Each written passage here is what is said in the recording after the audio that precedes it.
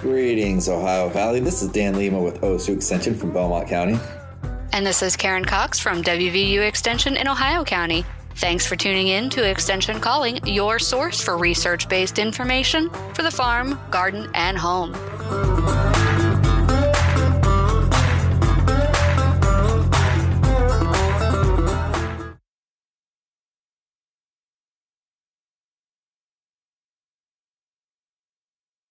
With the hot, muggy weather, I thought it would be helpful to bring back an old episode on heat stress in livestock. Now, this information is for more than just our livestock owners, as heat stress happens to humans and pets. Now, this show was first aired in July of 2019. However, it has been edited to help avoid some confusion and provide more clarity in places. There is a link in the show notes to give you access to a really great publication that we used heavily in the production of this show called Livestock Heat Stress Recognition, Response, and Prevention by Susan Kerr from Washington State University Extension. If you're not listening to the podcast version and are interested in getting a copy of it, it is online and you could send us an email and we can send you the link, or you can call us at the office and we will mail you a copy. Greetings, Ohio Valley. This is Karen Cox from West Virginia University Extension. Thanks for tuning in to Extension Calling, your source for research based information for the farm, garden, and home. Okay, I am here to bring you a special report uh, regarding the upcoming heat wave that's going to be hitting the area. We are looking at upcoming heat indices ranging from 105 to 110 over the next couple of days. So even though this isn't when this is supposed to come out, I wanted to make sure that we got this information out to those who needed it.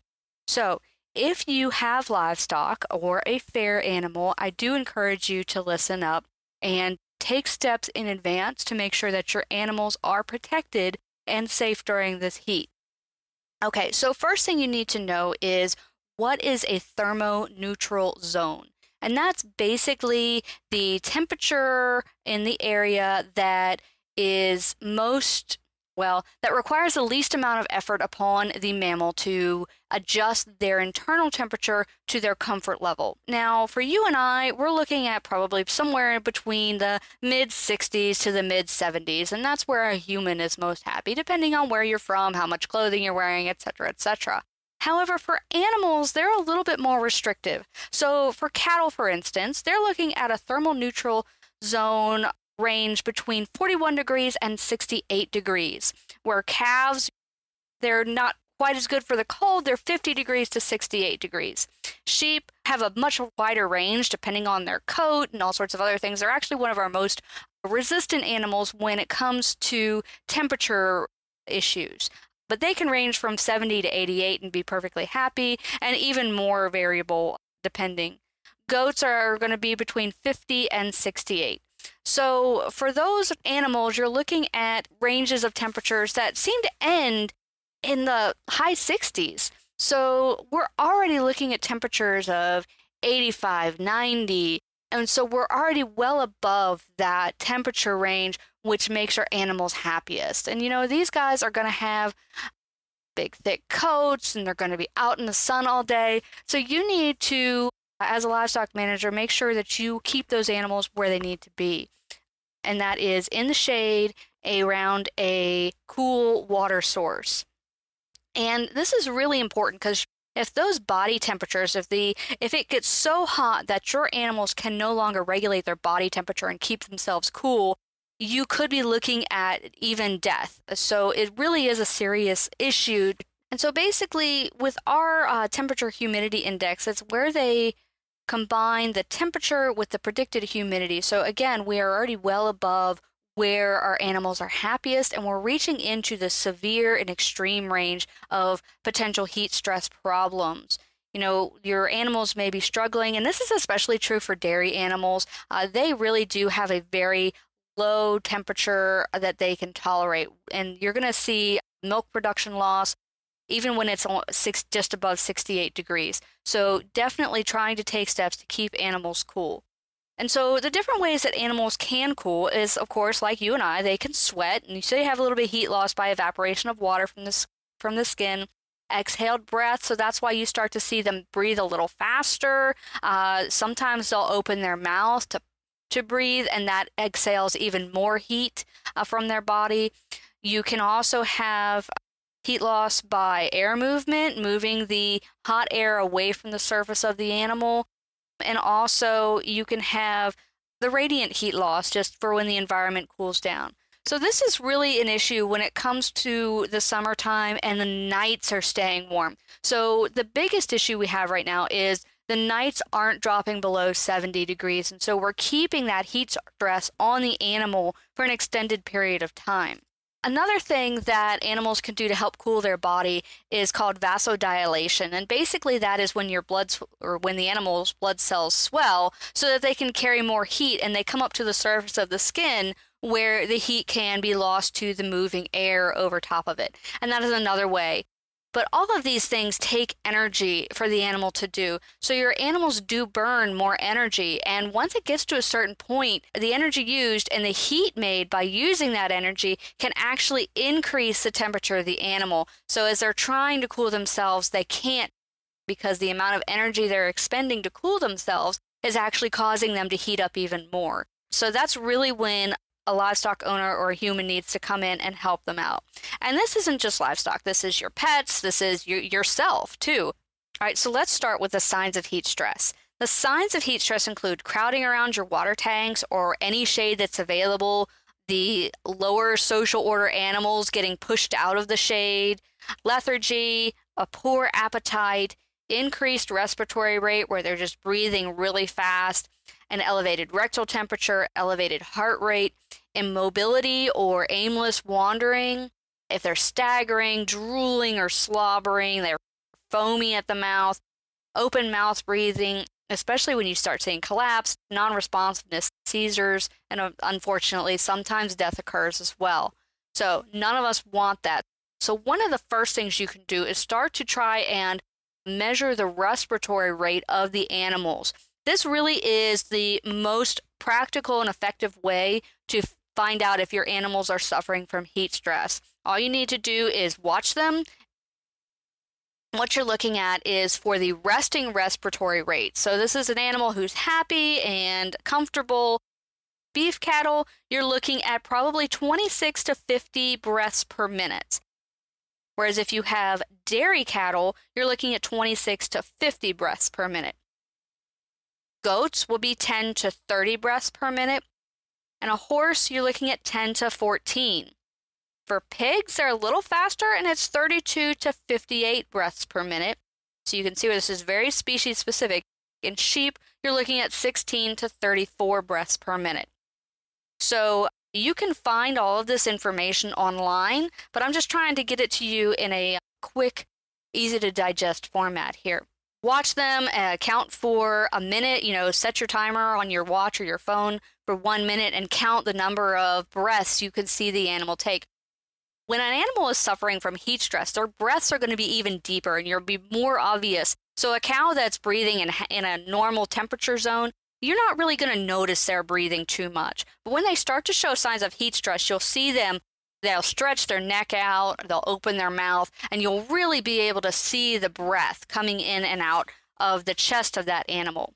So, when you're getting to uh, dangerous uh, respiratory rates or symptoms of heat stress, and now I'm going to stick with just cattle and sheep for this but you can start to see where the pattern goes. So if they have a low degree of heat stress for cattle and sheep, their respiratory rate is going to go from, let's say, 26 to 50 breaths per minute to 40 to 60 breaths per minute. Medium high degree of heat stress is 60 to 80 breaths per minute, say a high degree of heat stress. You're looking at 80 to 120 breaths per minute. If your cattle have more than that, say 150 breaths per minute or 200 breaths per minute for sheep, you are in severe heat stress and you definitely need to get on the phone to the vet. You need to take shade to that animal. Don't try to make the animal go to shade. You need to go out there with a popped up tent and put it over top of them. They're not going to be moving around at that point anyway, so it'll probably be pretty safe for now. But again, that open mouth panting, a little bit drooling, neck extended, if their head is up, and they're breathing 120 to 160 breaths per minute, this is a threshold for concern, especially if it lasts more than two hours. If their tongue is sticking out a little bit, again, that's a sign that that animal is too hot and you need to take immediate action to help prevent the problems that come from heat exhaustion or from heat stress. What are the effects of heat stress? Why is this important? You know, okay, I get hot for a day and then I'm fine, right? It just it was just a hot miserable day. Well, for a livestock, it's a little different. Like you said, like I said earlier, their heat stress begins or their heat issues begin at 68 degrees. So a really hot day for them is 80 degrees. And we're looking at 90, 100 degree heat index here. It's definitely going to be an issue. Your heat stressed cows and pigs, you're going to see gestation lengths shorten. You're going to have reduced birth weights. The young animals have compromised immunity. You'll have a drop in conception rates. You'll have a drop in fertility rates from the males. And you could also see increased fetal abnormalities and mortality. So, this is a continual issue that can stick around after that hot day. So, it's really important that you have some management practices ready to go for mitigating this heat stress. And number one is making sure they have unlimited, cool, fresh water. And uh, hydration is key in hot weather for humans, for animals. You have to make sure that water is available. And just like you and I, on a hot day, I am not going to have a hot cup of water. I want a nice cold cup of water. And so it's really important to make sure that your livestock have access to cool water. If you have a running spring, awesome. You have access to cool, fresh water. But if your animals are typically drinking from a pond that doesn't move much, that water is going to get really hot and really nasty and could also be carrying some diseases to your animals. So you want to try to make sure they have that fresh water available. If they're in a field where there is not a good, cool, fresh water source, tonight, after the sun goes down and it's cooling off, move them to that other paddock that has shade and that has a good water source. Even if it's not time for that paddock to be grazed, you would rather mess up the grass on that paddock than lose a few animals in the heat. So you want to make sure that you're planning ahead and making sure these animals have access. Now, if it's really hot and you don't have the ability to move the animals to a cooler water source, you can add ice to their trough that's going to be a lot of labor and can get expensive depending on how many animals you have. But especially if you're trying to finish off a show animal, adding some ice to your trough is going to save you a lot of stress and save your animal a lot of stress when you're trying to finish them off and make them look great for the show. The next thing after water is shade. If you have a roof that's light colored, has insulation it, it's going to help reflect the heat. But odds are we probably are trying to get our, our roofs darker in this area so that we can keep some of the heat in for winter. However, if you're putting them in a barn, you got to make sure you're giving them a little extra space than usual and that uh, well, I'll get more into that in a minute. So temporary shade, if they you don't have trees around, you can put up some tarps, a shade cloth, wag, drag a wagon over there, put up a lean-to on it, anything that you can to add a little bit additional shade that's not going to cause a hazard for the animal. Of course, there's some animals that are more curious than others, so dairy cows, goats, they're going to be more likely to tear down whatever you're putting up for them. But try to make sure that whatever you're putting out there does provide enough space for all of the livestock to fit in there without creating crowding, which is going to increase the heat. You know, we all know that when we're all crowded and pushed together, our body heat just builds and builds. So you have to give them space to lay and stretch out. And this is essential for pigs, especially. You want to make sure for every pig you have that's over 100 pounds that they have six square foot of shade that, that they get to call their very own. They probably won't spread out like that, but you want to make sure you have ample space so they're not fighting and pushing out the smaller or the less aggressive animals you want to make sure that those other animals still get the ample shade so that they can stay cool as well. And if you put the shade with the water source, it's going to do an additional step for you by keeping that water cool and encourage them to drink more because they're in the shade. They don't have to go out in the hot sun to get to the water. So that's going to encourage them to consume more water as well. Now, if you have a structure with solid walls, you have to make sure you have it be tall enough to allow for airflow and getting that animal heat out.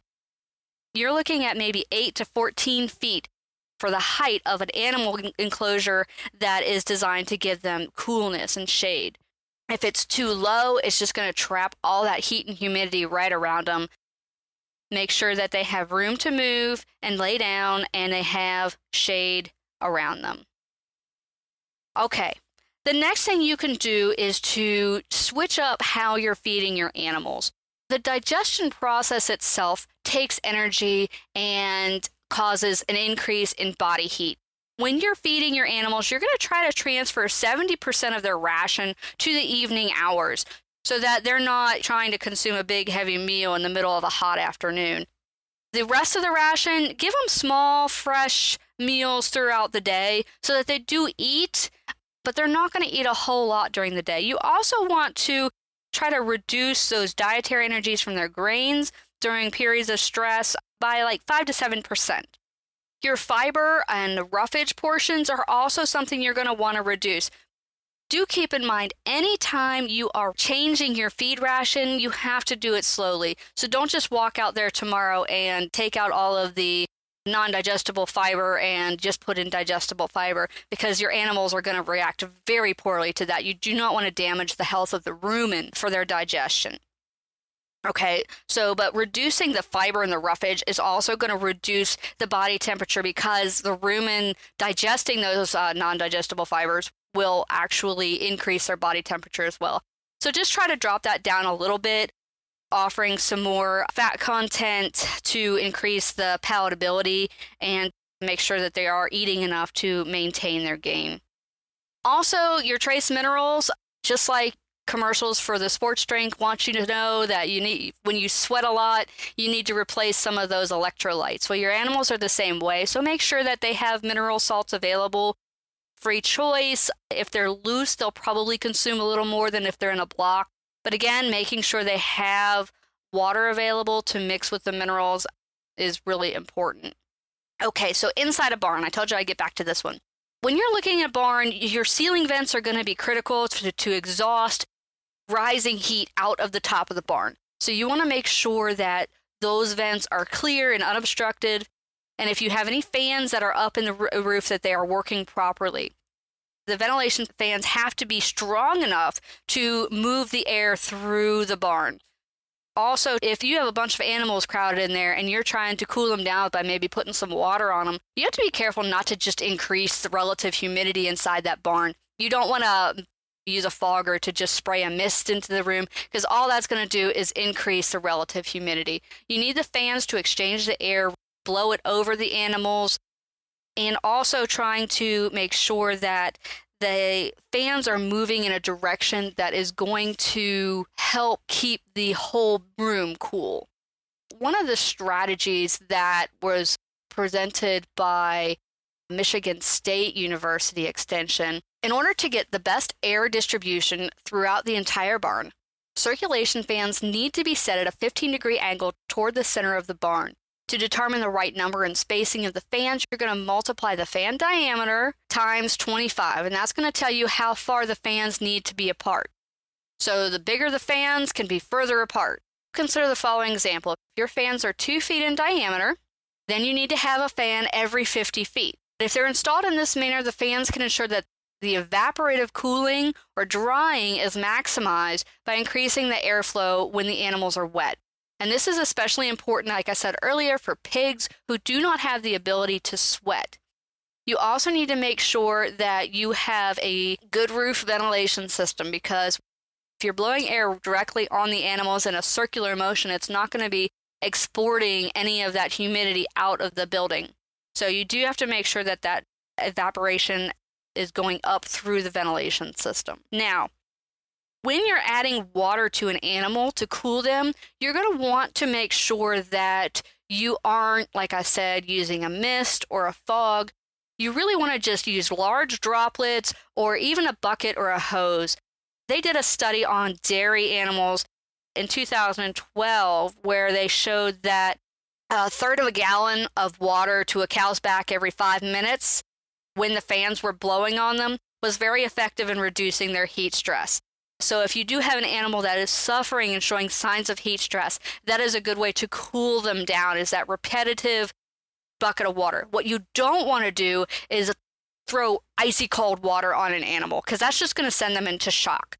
So, you don't want to put really cold water on them, but that every five minutes with a fan blowing on them can help reduce heat stress. But again, if you do witness your animal showing signs of heat stress, you do want to give the vet a call and ask about the severity and make sure that you're doing everything you can to help reduce that heat stress. If you have to move your animals very early in the morning if you have to work them. But if you can, delay any work with the animals, any treatments, any transportation or handling until these hot temperatures go away. Wait till the temperature breaks and maybe even give them another day after that to recover. That's just going to create more stress. It's going to increase their body temperature, internal body temperature even more. So, really, if you can avoid it, do so. If you can't avoid transporting your animals, like you've guaranteed the sale is going to be delivered at this time, try to load your animals really super early in the morning and have them at their destination by 10 a.m. That's really going to help keep them from dying on the way there. I mean, I hate to put it like that, but that's what we're looking at with these temperatures. So try to reschedule if you can. It really just isn't a great idea to take them anywhere right now. You know, unless you're moving them at night to another paddock where they have more shade and more water, I, I really don't see a benefit in moving an animal right now. And especially if an animal is already showing signs of heat stress, you don't want to try to move them. You can't say, Here, pig, pig, come to this nice cool wallow over here. If they're laying down and they don't want to move, you have to take the wallow to them. Got to take shade to them, set it up, dump water on them, let them cool themselves down, and they'll tell you when they're ready to move. When they'll get up and they'll start moving around on their own. You don't want to force an animal who is lethargic due to heat stress to move anywhere. And pigs really, I mean, 60 degrees is where they're going to start seeing significant heat stress. So these poor your your pigs are really really struggling right now. So especially when it gets over 80, that's when the pigs are going to start showing significant signs of heat stress. So, again, anytime you're putting water on an animal to cool them, the whole point is to get the water to evaporate. So, the evaporation process actually is exothermic. So, it is going to pull heat away. So, as the water evaporates, the animal is going to cool. If that water doesn't have an opportunity to evaporate, it doesn't have an opportunity to cool the animal. So you do have to wait between wettings to allow the animal to dry before you, you put water on them again. That way you can have the full effect of this labor that you're putting into it. Again, never apply cold water directly to an animal. Uh, will send them into shock. Now, I said earlier that sheep were a unique one. They're pretty comfortable over a wide range of temperatures. They remember they have that wool coat, but wool doesn't just heat you up in the wintertime. Wool is an insulator, whether it's hot or cold, it will insulate the animal. Now, granted, they're going to expend a little more energy if they have a full, thick, heavy wool coat, but most of you are going to shear your wool sheep before lambing, so it's probably not too much of an issue. Oh, back to pigs real quick. I just wanted to mention that your heat stress symptoms in pigs could include blotchy skin, stiffness, vocalization. If you start to see muscle tremors or reluctance to move, you really need to get in there and help cool them down. So, just to wrap everything up, if you have a heat stress emergency with your animals, provide shade to them. Take it to them. Don't try to make them go to the shade. Soak them with lukewarm to cool water, no, never cold water. Increase the airflow around them using fans if possible, and provide them with cool, fresh drinking water. And minimize your handling, transportation, and any stress on these animals as much as you can, and call your veterinarian for a consultation. Now, I took a lot of this information from a great publication from Washington State University Extension, and it's a great fact sheet. I do encourage you to download it, and I have put a link in the podcast extra bonus information It's called Livestock Heat Stress Recognition, Response, and Prevention. And I do want to thank Washington State University Hey, friends, we need your help. In order to help keep this show going, we need to hear back from you. Please take some time and check out our evaluation. Let us know if you like the show, and especially let us know if you've used any of the information you've gained from our show. Once again, you can reach us directly. You can call Karen at 304 234 3673. That's 304 234 3673. Or you can reach Dan at 740 695 1455. That's 740 695 1455.